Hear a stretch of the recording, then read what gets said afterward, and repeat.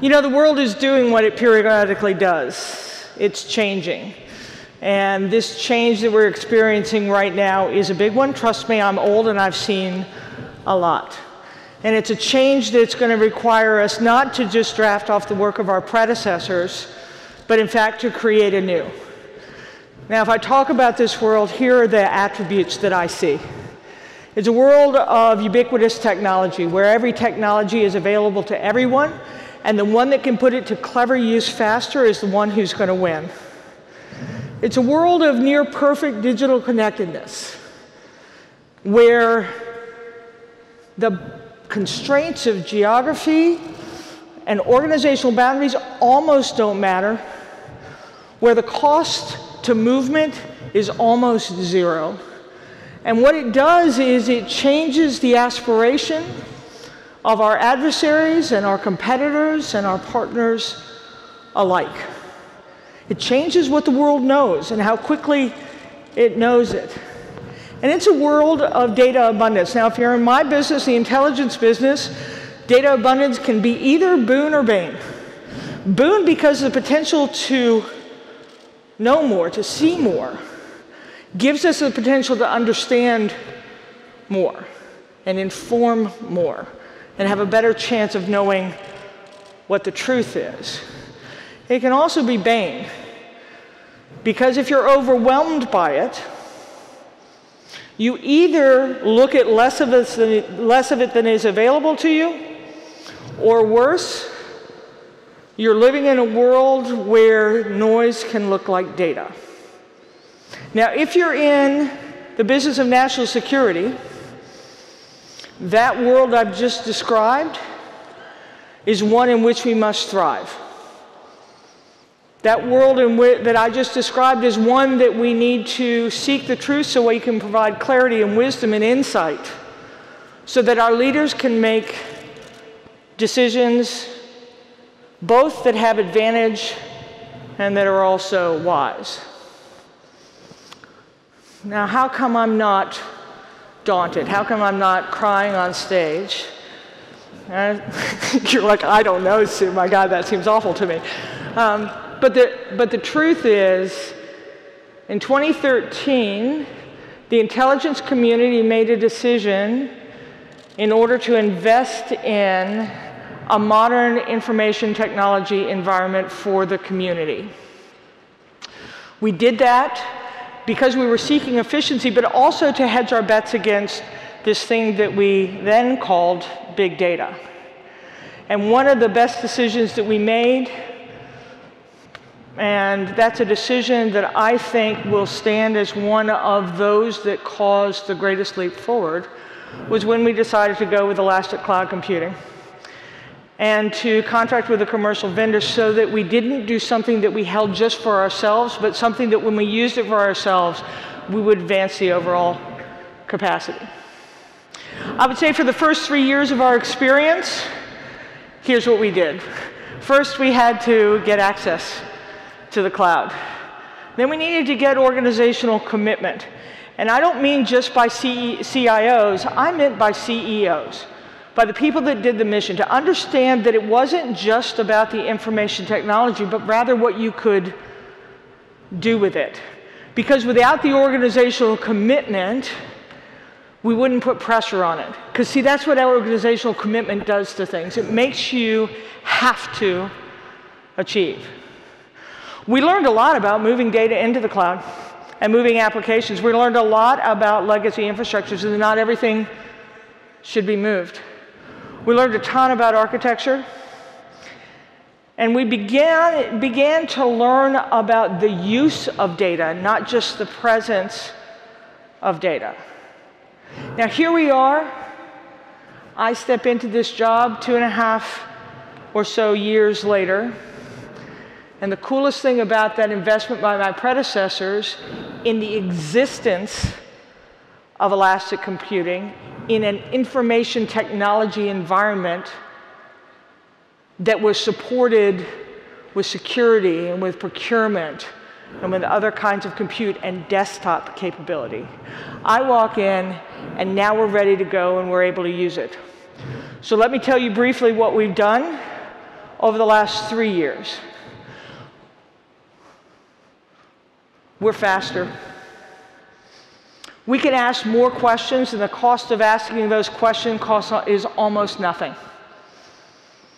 We take on much more complex problems than we did before.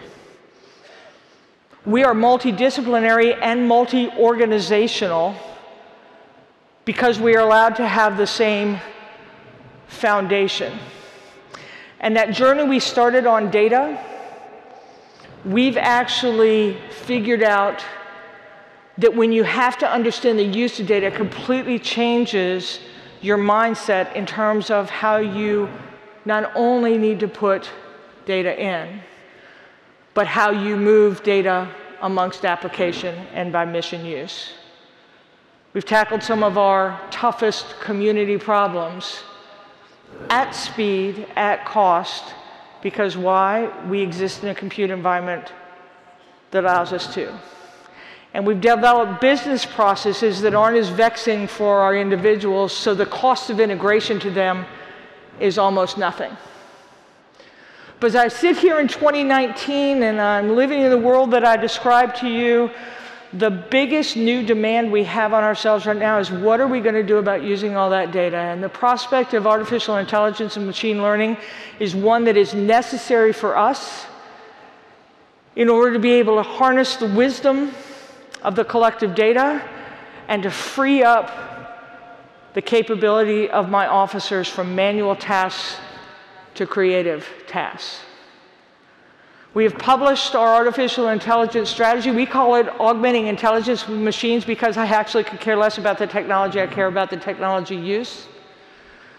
And we have four pillars of that.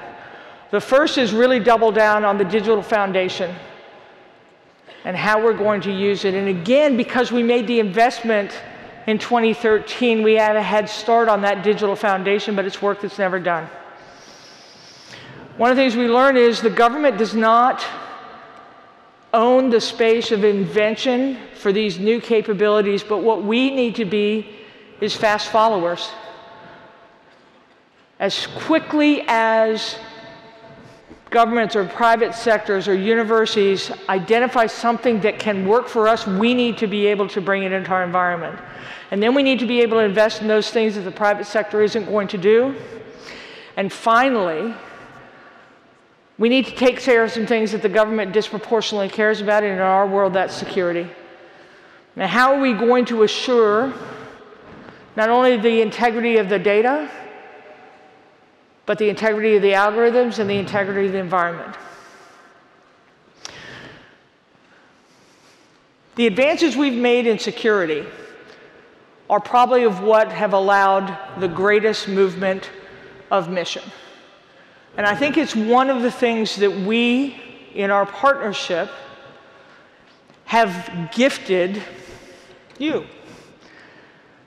Because of our insistence in the confidence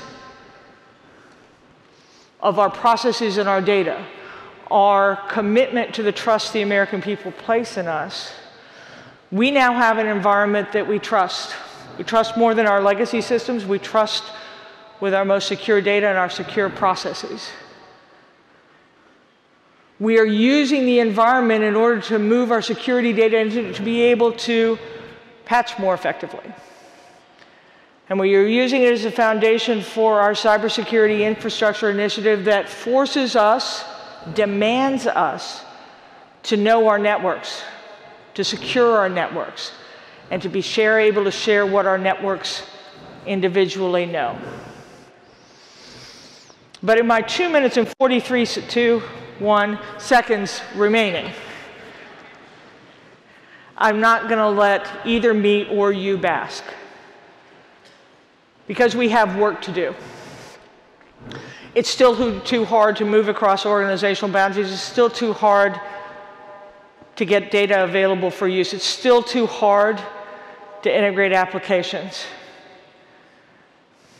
We're coming into a world, what we learned is that we thought we would be able to have just cloud. No, we need cloud. We need elastic cloud. We need commercial cloud. We need multiple security levels clouds. But we need a hybrid architecture because some things are never going to move into the cloud. And we probably need a multiple cloud environment. And just when we thought we had this data foundation, the security thing right, we're going to have to rethink it as we have before to be able to adjust to not how humans want to use data and how you tag data and tag people for human use. We're now going to have to tag data and use it for machine use. And as you all come into this world. We're going to have to figure out how we connect. Because what's cool about the world I described is those boundaries mean that the national security community intent is huge. It is not just within the intelligence agencies or just within the government, and so I think there is great room for us to explore. And lest I leave out the most important part, the biggest thing that we have to do is we have to share our demands for talent. I'm quite confident there is enough talent for all our use, but probably not enough talent for each of our use if we don't think about developing it together, moving people between the government and the private sector, thinking about what a career looks like in this field. It's a big old goofy world. Modern infrastructure for information can help the investment we made so many years ago in order to be able to try and harness the power of the cloud with a partner who wanted to learn and grow with us has left us ready not only for today, but positioned for tomorrow. I tell you this because it was hard, and yet it's happened, and there's still work to do, so let's be up and doing. Thank you so much.